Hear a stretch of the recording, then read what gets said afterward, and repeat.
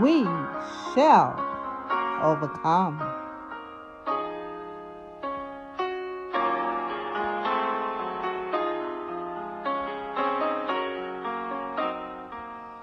Well, this is another time, another opportunity of being able to receive from the Holy Ghost. Yes, the Holy Ghost, the Spirit of God, whom Jesus promised that he will send another comforter.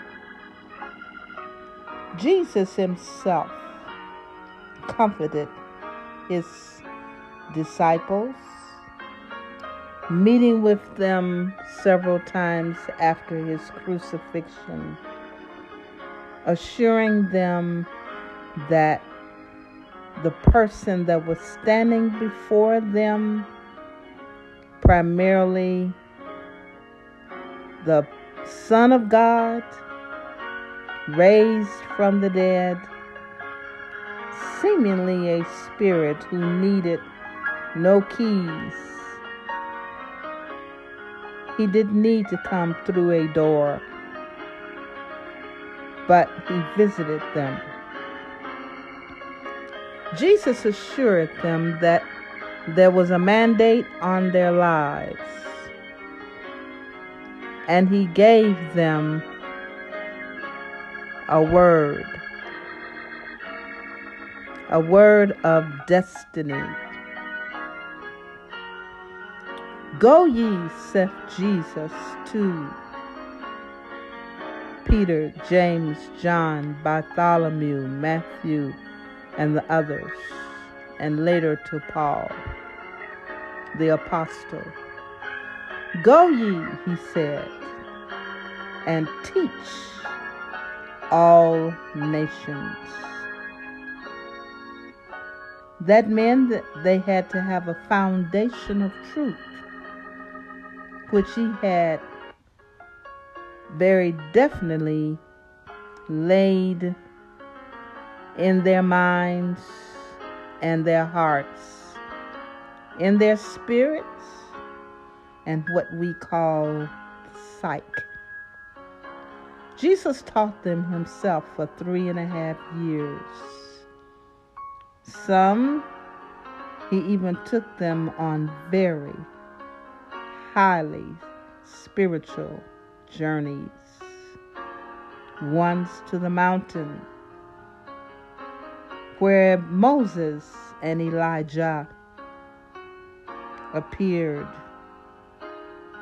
The three who were in the Spirit revealed themselves to those men who were there. God is great. Impartation, in many times of being confronted with the power of God, is horizontal, meaning that the visitation comes down. It doesn't emanate from the third heaven, but the visitation comes down. So that there was horizontal direction of the power of God that saturated them. And also, it will saturate us. Oh, yes, there are times when the power of God comes down to those who are called as apostles or prophets or evangelists or pastors or teachers. It comes down, yes, as an example of humility but then there are other times when we have to ascend. We have to climb. We have to praise and pray.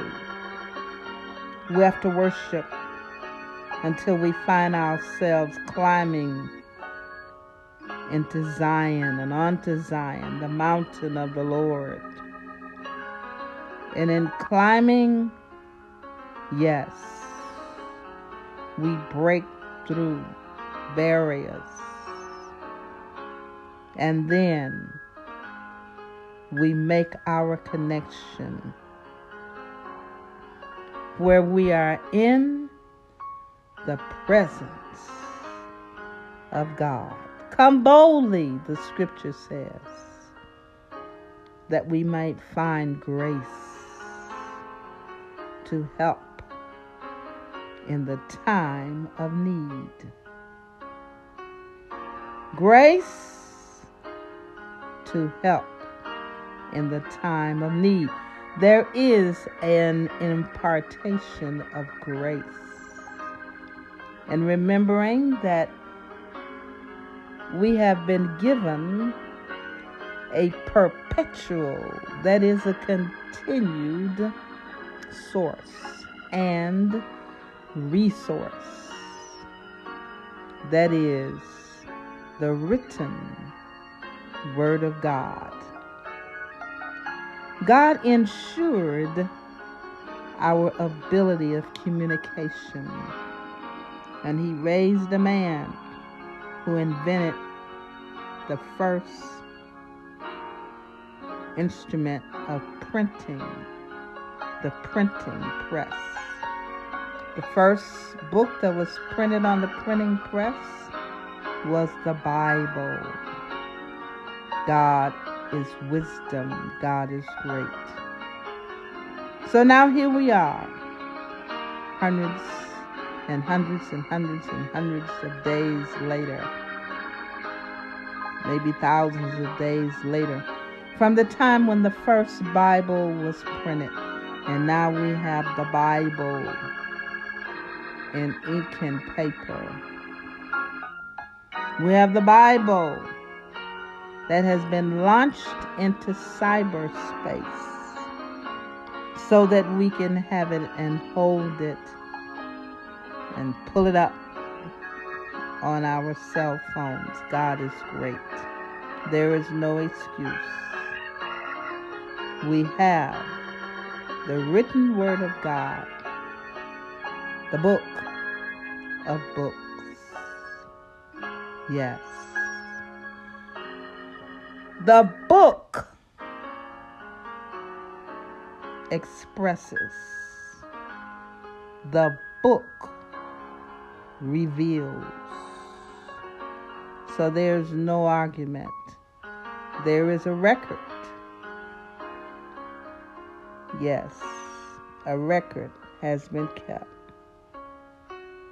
Even concerning Israel, but we will not park there. But now God has a people throughout the earth that is called the church. The church that also contains five categories and types of ministries and ways for the Word of God to be conveyed to their fellow man and our fellow man. The apostle, the prophet, the pastor, the evangelist, the teacher. All five are in the earth realm perpetually, continually. And I might add, even after the trumpet sounds, and those that are alive when he comes, those that will be caught up even after that. There will be those in the earth realm that will be endowed with the power of God to preach the gospel to those who remain, and particularly to Israel, who out of Israel will come evangelists who will preach the word worldwide. God is great.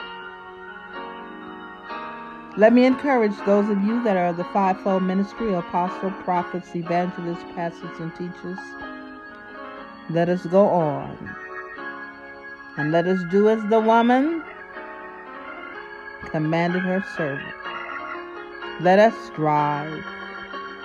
Let us strive. Let us drive and go forward. I'm going to pray now. God, in the name of Jesus, I send your word. I loose your power with your word. I decree an endowment the more through your word.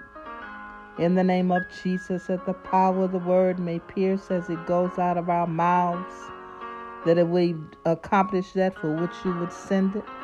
In the name of Jesus. God, and we give you the glory for your recompense, for your blessing, and we'll praise you. Let the word heal. Let the word save. Let the word deliver. Let the word set free.